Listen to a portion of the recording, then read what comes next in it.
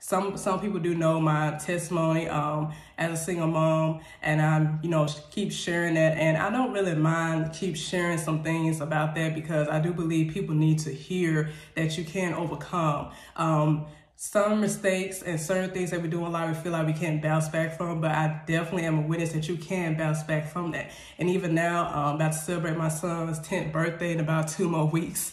And I'm excited and just really, I know I want to have have to take time and just sit back and think about, man, um, some things I went through and trying to raise him up to this point, um, some of the financial things, emotional things, um, even dealing with him having this trouble in school and just um, going through those things and just feel like I really am by myself because I had to deal with a bulk of some of those stuff. But I also have to look at, you know, the good things that came out of that. I'm seeing my son grow and mature. And, you know, even though we did had our hard seasons and some of those things, you know, of course, you know, when kids are little, we think that's the most amazing time, which it is. But you also got to know that's the growing time, time that you really do have to discipline, time you really have to get them on the right path. And I just thank God for how you just brought me through those moments. And yet, even now, you know, I'm preparing my mind to now he's he's gonna be 10 and soon in that teenage stage and how I need to orchestrate things, how I need to get things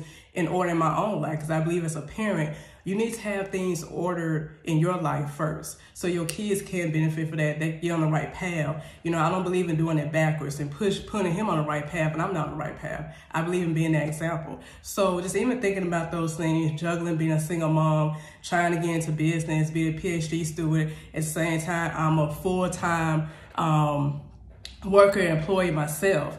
Um, so I had to just, you know, just sit back and just had to have this little self-talk to myself like, ShuCora, this is your load. And if this is assigned to you, I do believe that you can handle it.